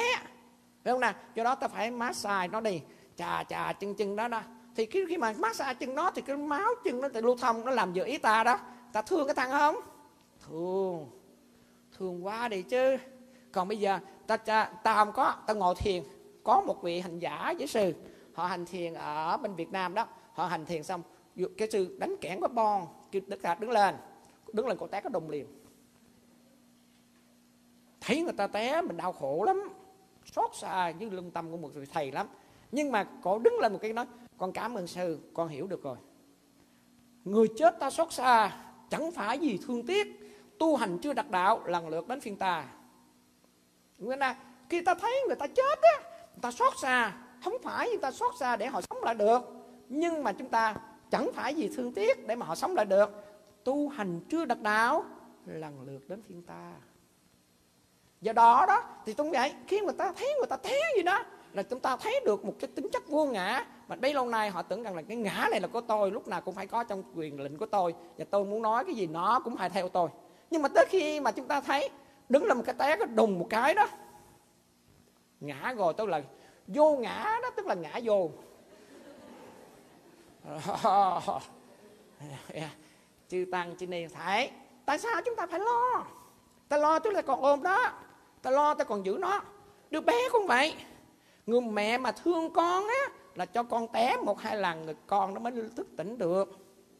Chứ người mẹ cứ bo bo, giữ giữ, ẩm ẩm bầm bồng nó hoài đó, thì chúng ta thấy bao giờ nó lớn lên được. Chứ tăng như này thấy đúng không nè đúng lắm. Chúng ta thấy chúng ta còn thua con gà, chúng ta còn thua một con chim, chúng ta còn thua một con bé bê, con bông bê nữa. Nó nó vừa lót xuống ra khỏi bụng mẹ, nó cái đục, nó nằm im đó. Hai tiếng đồng hồ, cái đứng lên cái nó đi theo nó bè bè bè bè bè, bè nó bú bú sữa mẹ. Còn ta một năm sau cũng chưa chịu ra nữa. Ấm hoài à. thấy không? Chúng ta ấm miết ấm có ấm tới biết từng chừng nào muốn đi rồi đi à. Còn không chịu đi nữa mà sư nói cái đó là nói sư nè. Nói cho chị tăng ni nói chị tăng ni nghe đừng có nói cho anh nghe cái chuyện chuyện chuyện nhỏ của sư mẹ sẽ nói chứ nuôi con 10 đứa cái thằng này nó là nuôi lâu nhất rồi nó, nó ẩm hoài 16 tháng mới biết đi. À, đất ơi. Anh sư 8 tháng biết đi sư tới 16 tháng mới biết đi. Mà biết đi biết nói luôn. Mà giờ nói quá không nói đâu mà nói lại. À, trời đất ơi. Nhưng mình mới thấy được là thực tướng đó. Hiểu chưa? Giờ đó đó chúng ta hành ta hành về thăng niệm xứ ta hành thăng niệm xứ ta quán về thăng niệm xứ để chúng ta thấy được nó ta không có lo cho nó. Tại sao đứa con té người mẹ là đánh vô nền đất. Hư con cái mình đặt này làm cho con tao té nè. Nền đất đâu có làm con mình té. Nó vô ý nó té. Nó không có hiểu biết nó chạy nó té. Té một lần cho nó biết. Nó tổn nó già nó thức tỉnh. Nó không có thèm nó chạy được nữa. Còn này dỗ về khóc khóc. Hi, hi, được kẹo nữa. À, đất ơi. Tự bất giá phụ chi quá giá bất nghiêm sư chi đọa cha mà không dạy con, cha là bằng xấu. Thầy mà dạy không nghiêm, thầy cũng là thầy xấu, không tốt. Do đó chúng ta thấy, tự bất giáo phụ chi quá. Con không dạy là do người cha, chứ không phải là người mẹ. Xưa nay cứ nói là người mẹ, con hư tại mẹ, cháu hư tại bà. Không đúng. À tự bất giáo phụ chi quá, rõ ràng. Chứ đâu có tự bất giáo một mẫu chi quá đâu. Hẳn nè? Mà giáo bất nghiêm sư tri đọa, thầy mà dạy không nghiêm. Như thế thì thầy nào dạy cho trò nghiêm? Mình là người thầy, phải dạy cho cái thằng này thật là nghiêm, mới thành là người thầy tốt. Nếu mà ta không dạy được cái thằng này, ta dạy ai cho được? Hiểu không? À. ta dạy cho ta chưa xong. Ta dạy ta chưa xong. Ta dạy thằng đệ tử này chưa xong đừng đi dạy ai khác, sợ nó luôn đi. Đó đó. Phải là cái chư tăng cái này thấy không nè như thế thì chúng ta phải tập lại. Chúng ta không cần đi nhiều ta không cần đi nhanh. Nhưng mà chúng ta làm cái nào cho nó chắc cái đó. Làm cho chắc một cái nào là cho chắc đúng cái đó. Mà chúng ta làm vững, chắc. Chúng ta phải coi lại. Tại sao ta ngồi thiền không được? Giới cho ta có trong sạch không? Khi mà tâm ta không có yên đó, là ta ngồi thiền không được, là giới chúng ta bắt bắt an. Giới năng sanh định mà định năng sanh tuệ như thế ta ngồi thiền không được ta coi lại cái giới. Bữa nay chúng ta có thể mà ta phạm cái giới gì đó chúng ta bắt nghịch cái vấn đề giới đó ta khinh suất gì cái giới gì đó. Thân ngữ ý ba điều đó chúng ta có phạm gì không? Chúng coi lại xét lại. Ta ngồi tâm ta yên giới ta trong sạch giới ta bình tĩnh thì tâm ta an trú à. An trú tôi mới phát thanh trí, trí tuệ nó nhìn thấy được bản chất thực tướng cho nó chứ. Nhưng mà trong khi ta vô ta ngồi ta rung lại. Người phật tử cũng vậy có nhiều người phật tử đến trình trình pháp với sư. Con ngồi thiền không được. Ừ. Tại sao ngồi thiền không được? Thứ nhất á, là tê nhất mỗi đau gác hoàng bền. Cái tâm của cô cái đã tâm tâm tâm của người hành giả tâm của con không có yên. Tâm không yên là sao?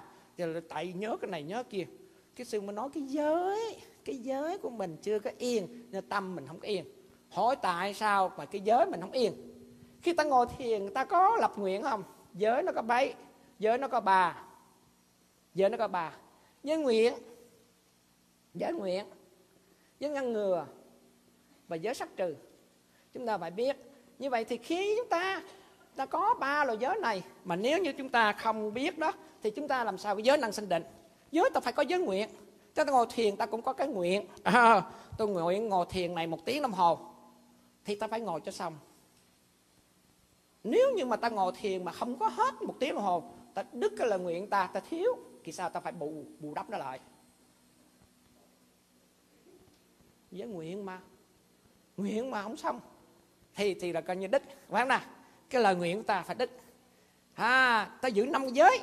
Sắc sanh trộm cắp, tà dâm, nói dối âm tủ ta giữ không được xong. Thì tới cái giờ lời nguyện của ta. Đồng ý chưa? Chứ tăng như này đúng không? Mỗi một cái giới mà chư tăng như này thọ là thọ nguyện thôi. Thọ nguyện thôi chứ chưa có phải là ngăn ngừa. Khi mà ta ngăn ngừa đó là ba điều ác bốn điều ba điều về ác về thân bốn điều về ác về ý về, về, về, về lời và ba điều về ý. Ta nói ngăn ngừa đi ba thân bốn lời và ba ý. Chúng ta ngăn ngừa. À, ngăn ngừa. Không sát sanh không trộm cắp tài dâm không nói dối không nói đâm thọc không nói lời thô ác ngữ và không nói lời vô ích. Và ý ta không tham ý không sân ý không tà kiến tức là giới ngăn ngừa. Gì thân ngừa gì ngăn ngừa gì thân ngữ ý. Ngăn ngừa ngăn ngừa thân ngữ ý. Và sát trừ là là sát trừ tuyệt, là lúc nào chúng ta cũng phải là tránh mạng. Tránh ngữ và tránh nghiệp, chúng ta phải tránh nghiệp. Do đó đó là cái này chỉ dành cho bậc thánh mới có, chúng ta không có. Bậc phàm phu như chúng ta thì có hai loại giới, hai loại giới. Khi ta ngồi thiền không được, chúng ta coi là cái giới cái đã tâm ta không yên. Tâm ta không yên, ta coi cái giới của ta trước. Mở cuộc chìa khóa cái cái giới đó. Thông suốt cái giới lại, ta bình tĩnh rồi ta tâm ta an trú, ta phát sanh trí tuệ liền. Giới nguyện là cái giới mà chúng ta thọ nguyện. Người phật tử tại gia, năm giới. Người xuất gia thì giới, tỳ khu giới, tỳ khu ni giới, sa di giới, thức xoa mana giới, chúng ta có. Còn giới ngăn ngừa là ba về thân bốn về lời ba về ý chúng ta phải ngăn ngừa thân ngữ ý chúng ta phải tinh chuyên trong sạch và thanh tịnh chúng ta mới yên được. Chúng ta tâm chúng ta không có yên chúng ta coi ba cái đó chúng ta coi lại. Thì khi chúng ta coi ba cái điều đó nó được á thì ta định liền à. Ta định liền à. Mà định nó chưa có phải là cái cửa ngõ đi đến để mà thiền quán. Thiền quán là tuệ. Do đó đó chúng ta mới phát lên cái trí tuệ cho mới nhìn thấy được thực tướng. Thực tướng là như vậy đó. Vậy thì, thì khi chúng ta ngồi thiền thật sự là không khó cái khó thì nó. Trời ơi cái lớp này dễ sợ chưa? Cái khó nó ló cái khôn. Ừ, cái khó nó cái bỏ cái khó nó ló cái khôn. Do đó đó khi ta ngồi mà mà thấy nó khó quá đó. Thử coi cách này coi. Thử coi cách này con sao? Thử coi cách này con sao? Chúng ta sẽ thấy tứ niệm xứ. Chúng ta có tứ niệm xứ. Thân thọ tâm pháp. Một con khỉ chúng ta bỏ nó vô trong cái cái chuồng lồng bốn cái góc vuông đó. Thì nó làm sao? Nó chạy qua bên đây, nó chạy qua bên đây, nó chạy qua bên đây, nó chạy qua bên đây. Hết chạy về thân, nó chạy nó chạy góc này, rồi nó chạy qua góc này, nó chạy góc này, nó chạy qua này, nó chạy tới cho lui. Con khỉ nó ta bỏ nó vô đây. Đúng không? Thì khi nó bỏ nó vô đây, nó chạy hết bốn góc. Và nó sẽ chết một trong bốn góc đó. Hết hơi, hết sức, hết tuổi đời đó nó sẽ chết trong đây phải không nào? Mà nó sẽ chết một trong bốn góc đó. Thì hành giả chạy vô bốn góc đó, hết thân tới thọ tới tâm pháp, thành giả sẽ lượm được pháp ở trong bốn góc đó, một trong bốn góc đó, một ngày nào đó. Mình không có chịu, mình không có đi, mình không có đi thì mình không có ra. Bây giờ mình lọt vô trong bốn góc đó, mình chạy tới, chạy lùi chạy tới, chạy lùi cũng bốn góc là thì thế thì mình lọt trong đó. Nhện khoảng nào? Nhện nè là cái nhện nó nhện xấu lắm. Đây là nhện xấu. Nó bung cái lưới ra. Đúng không? Nó thả dây tơ ra. Đúng không? Rồi từ đó nó thả cái dây tơ ra. Nó cứ thả dây tơ. Thì khi mà nó thả cái dây tơ ra nhện nó nằm ở đâu? Nó nằm, nằm ngay trung tâm của màng nhện. Trung tâm màng nhện. Con mũi con ruồi nó bay vô cái lưới nhện. Nó bay vào ngoài lưới. Con mà nhện con con mũi con ruồi nó bay vô lưới nhện thì khi cái lưới nhện nó con ruồi con mũi nó bay vô thì cái lưới nhện nó bắt đầu nó nhúc nhích. Là antenna của nó bắt đầu báo tích tích tích tích tích tích có vật thể vô. Nó báo vô trong cái trung tâm nó liền. Thì con nhện này nó sẽ sẽ biết con nhện nó không bao giờ mà nó chạy ra nó bắt liền đâu. Nó nằm yên đó. Chúng ta theo dõi để coi coi. Nó nằm yên đó. Nó đợi một cái cái, cái viên nhện nó cần nhúng nữa nhúng nữa nhúng nữa. Giật giật giật ngang rồi nhúng xuống lên xuống, giật giật giật ngang con nhện nhận nằm yên. Khi mà con nhện đó hả? Theo dõi mà ta bỏ công ta theo dõi mà. Cái đó là vipassana. Theo dõi cách đặc biệt, chú tâm theo dõi cách đặc biệt. Thì cái con nhện nằm yên, nhúng giữ sàn qua giữ, con nhện nằm yên, bắt động, yên tĩnh vậy đó. Khi mà hết nhúc nhích rồi đó, con nhện mới bắt đầu ra. Nó ra, bắt đầu nó nhìn không phải nó hút. Chừng ra cái hút lên rồi. Trời, mũi gà cái hết nó hút rồi gà nó nhìn bự nhỏ loại gì? Cái nó chở vô nằm lại. Nó chở vô nằm lại. Rồi cái bắt đầu nó coi còn sống hay còn nhúc nhích không? Còn cái bắt đầu nó ra bắt đầu nó chích một cái nó độc vô đó. Nó chích một cái độc đó. Cái nó chưa ra nó chưa tha đâu. Cái nó vô nó nằm lại. Cái con con con con độc đó con con vật đó bắt đầu nó tê. À, nó rút xuống. Nó rút xuống. Mà hết nhúc nhích rồi. Bảo đảm là con nhện này con con con bạc này không rời khỏi cái lưới rồi đó, bảo đảm rồi. Cái lần thứ ba nó ra, nó tha vô tha vô tha vô tha vô. Nó để đó. Rồi nó ngó qua ngó lại xong xuôi mới bắt đầu nó gặm đua cho cái miệng đó. Nuốt nuốt nuốt nuốt. Người hành giả thấy pháp nó đến. Phải có cái tác ý trước. Phải có tác ý trước. Phải có tác ý để ý tới. Để ý tới pháp trước. Pháp đó pháp gì? Ngồi nghiệm, quan sát cái nơi yên. Giữ cái tâm mình được an trú để nhìn thấy pháp. Đó là cái phương pháp thứ nhất. Tắt ý trước, để ý. Để ý xong xuôi rồi, mới nhìn thấy cái pháp đó. Pháp là pháp gì? Thăng pháp đó pháp thọ. Pháp đó pháp tâm. Có pháp. Thì thăng ta mở cái túi ni lông ra ta coi thăng là gì. Cái tâm, ta mở cái tâm ra ta vào ta có bốn cái túi đó. Ta ngồi kế bên đó. Đó, người ta phải chúng ta khi mà thọ, ta bỏ vô ta lượm nó ra. Tâm ta lượm vô ra. Pháp ta lượm vô lượm ra. Do đó đó, khi chúng ta định nghĩa được đúng rồi, ta thấy hiểu rõ được nó rồi, xong xuôi cái ta mới rút nó ra. Ta mới niệm được cái pháp đó. Chớ không phải ta niệm với cái cái nương tựa của chính nó. Ta không có niệm cái thân, ta không niệm cái thọ, ta không niệm cái tâm, cái pháp. Ta biết cái thọ nó loại gì. Ta niệm cái pháp của cái thọ nó đang có. Chính xác đó ta ra được. Hổ trước khi vào mồi hổ thường thu mình lại. Hổ trước khi vào mồi hổ thường thu mình lại lấy hết năng lực búng ra chụp không sai chặt.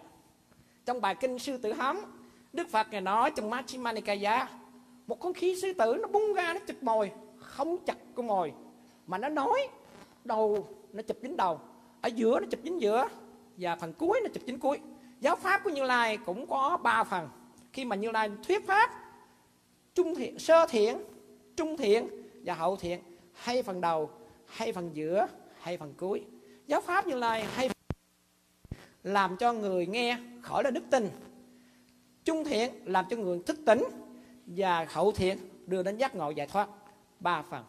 Giáo pháp của như lai thuyết giảng như vậy, nằm trong bài kinh sư tử hống. Chúng ta nghe rõ như vậy thì chúng ta cũng thấy khí con nhện nó phải biết phần đầu. Giai đoạn đầu phải giai đoạn giữa, giai đoạn cuối. Và khi mà nó bung ra, nó chụp con mồi đó, là không sai chặt. Khi chúng ta đi vào cái pháp thành tứ niệm xứ này, thân thọ tâm pháp, bữa nay ta nghe được cái phần thân tùy quán. Thì chúng ta sẽ thấy, khi mà ta nói đúng là thân tùy quán, nó phải nằm trong sáu cách này.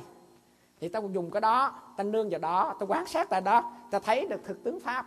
Thì lúc đó ta niệm đúng về thân nhưng mà có khi chúng ta đang ngồi niệm về thân niệm xứ.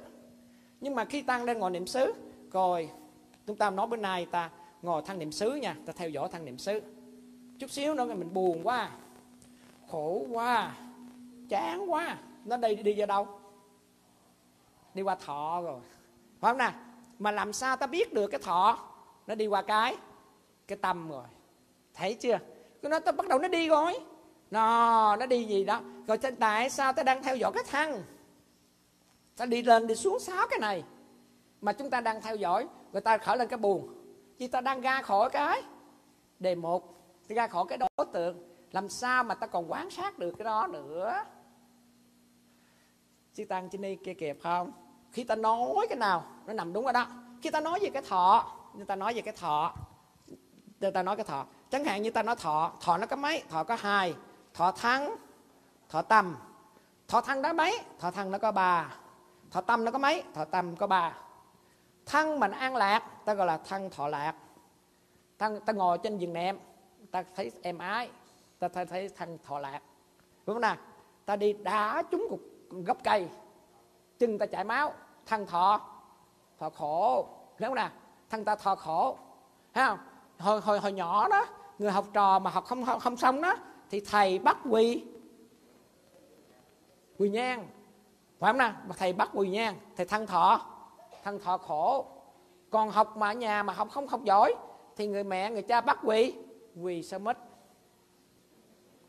Dỗ mất lên đó. Bắt đầu thăng thọ thọ khổ.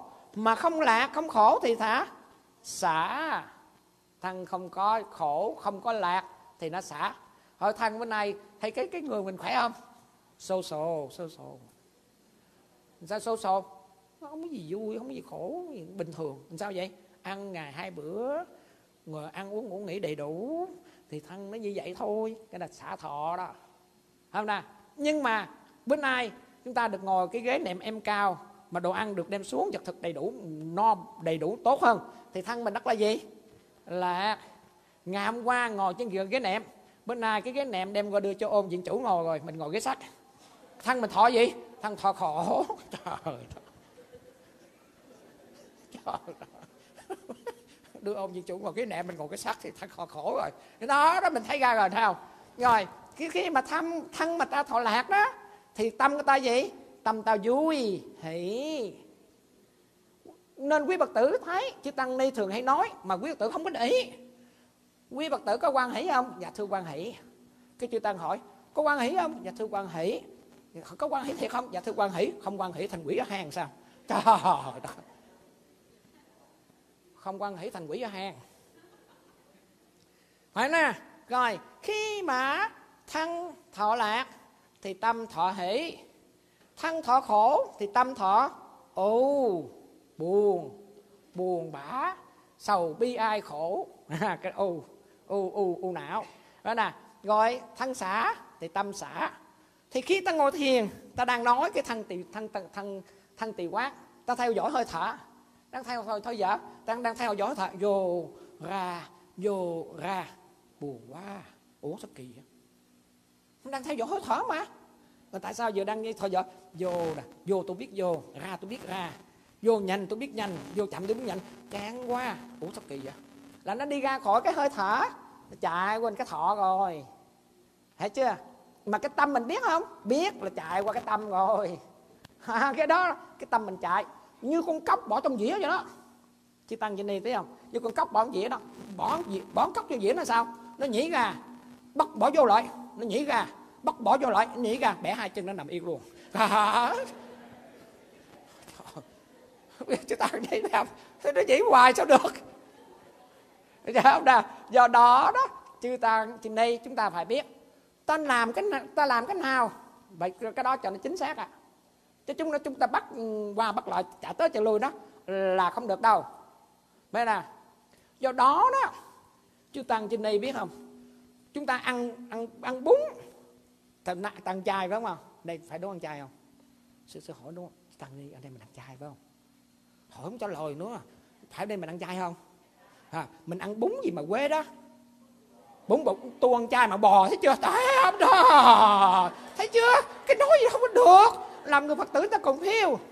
Nó ăn chay mà ta nói cái bún thì bún quế thôi. Còn cái bún bò vô cái thịt người ta tưởng mặn sao? À, không có nói gì được. Ăn, ăn gì? Bữa nay ăn bún quế.